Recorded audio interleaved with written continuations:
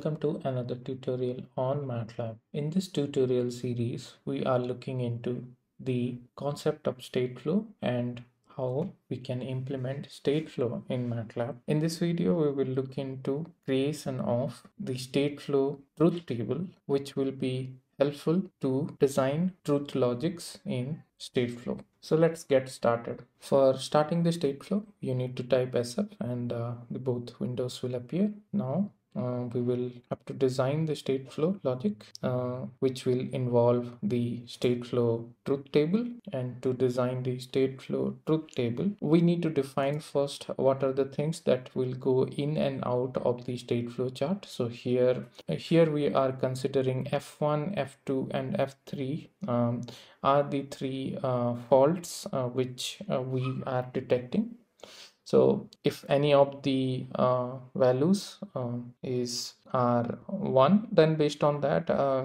a definite decision will be taken care. And uh, based on that decision um, action will be also taken place. And here the output is represented with the help of out variable. Now let's look into the chart from the top level. So here here as you can see these are the input.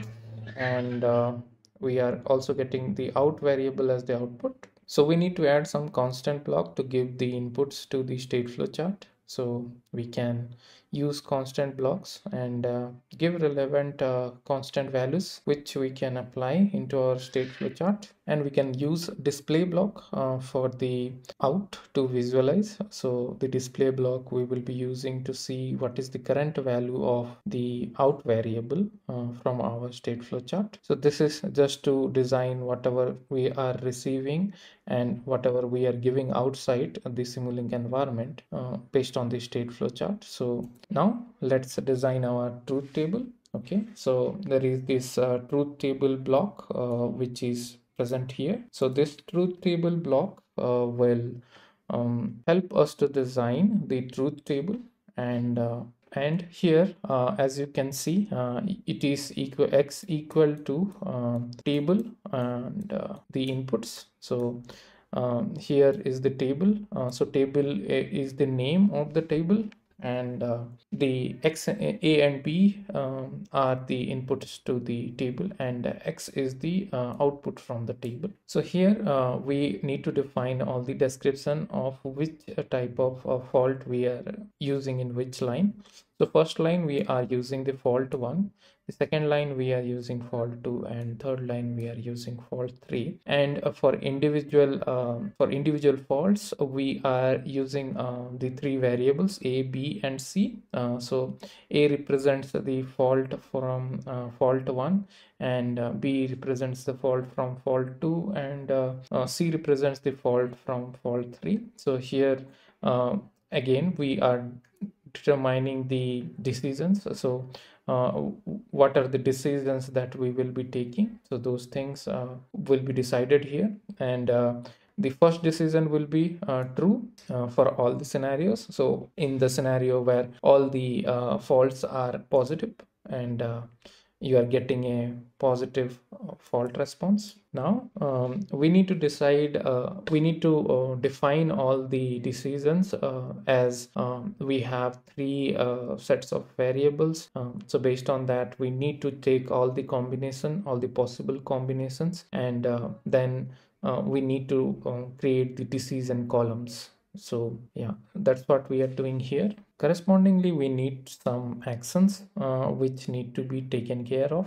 So those things we decide and uh, define in the action table. Whatever the conditions um, or the decision columns uh, that we usually define define in our condition table. For every individual action we need to uh, give some uh, description like we given a description for the condition table for all the conditions. So yeah. So here we need to uh, give the description for all the faults action. So so whatever the action that that we will be defining here uh, those will be going here and will be executed. So yeah let's see uh, let's define uh, the uh, actions and uh, then we will be uh, executing them. Okay to define any action you need to give the format um, any name. So here we are considering a1 as the action and after that you need to mention the colon operation and after that you can define whatever the operation that you want to perform.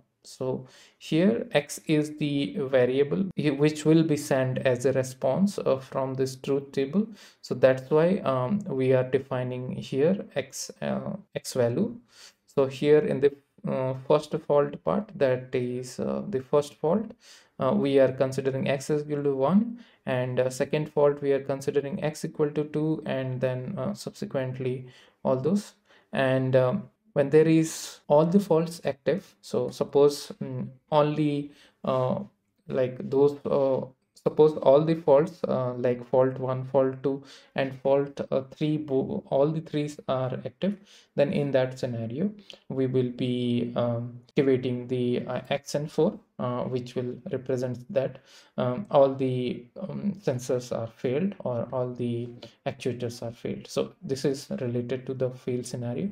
And uh, for every decision that we take so there uh, we need to define all the actions um, in the action line. So here uh, if we are uh, considering that all sensors are failed so that uh, we are considering here. So a4 we are taking the action and we are sending 4 as the output from the uh, truth table. So correspondingly, uh, this is also a multiple sensor failure and this is a single sensor for failure which is uh, the third uh, sensor. Okay now we need to define uh, the truth table with the help of a flowchart or a transition. So in that transition we will be calling the truth table and here our truth table name is table.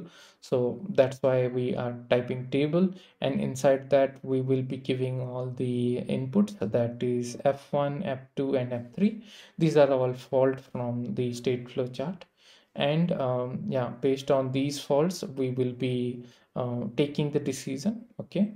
So while simulating we are getting some issue. So this is uh, related to some uh, condition that is being not defined in this uh, truth table. So we need to define all those additional conditions which is not defined. Otherwise the um, truth table will not work so um, in the situation where we do not have any fault in the uh, which is a kind of normal case so that we have not defined yet. So uh, let's define that part. So that is we are considering at a0 and uh, that moment x will be 0 and uh, that we need to add.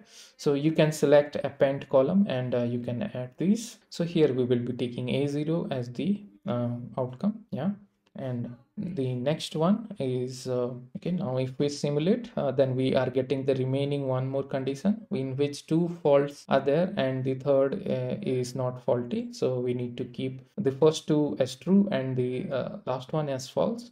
And here we will be having the action off so in this case we are also getting an error now which is uh, telling like uh, we have over specified the truth table now we need to delete some column okay?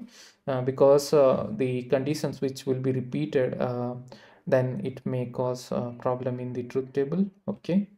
And now uh, we are getting like t7 uh, d7 is over specified so we need to delete d7 now. Now if we try to simulate the uh, chart will simulate and we are not getting any error. Now uh, we are getting the output as 4 because all the faults all the faults are active so all the sensors are having the fault. So that's why the output is 4 so this is how you can create a truth table. And uh, in the upcoming tutorial we will see how to analyze and uh, what are the uh, specific uh, things that this truth table uh, will behave as. And uh, based on uh, the inputs is it behaving properly or not based on the conditions that we have defined in the truth table so in case you are liking the channel please consider subscribing. In case uh, you are new to the channel please uh, share uh, your uh, comments and thoughts in the comment box so that it will help us to improve your experience of learning matlab in this channel. Happy learning matlab and uh, stay connected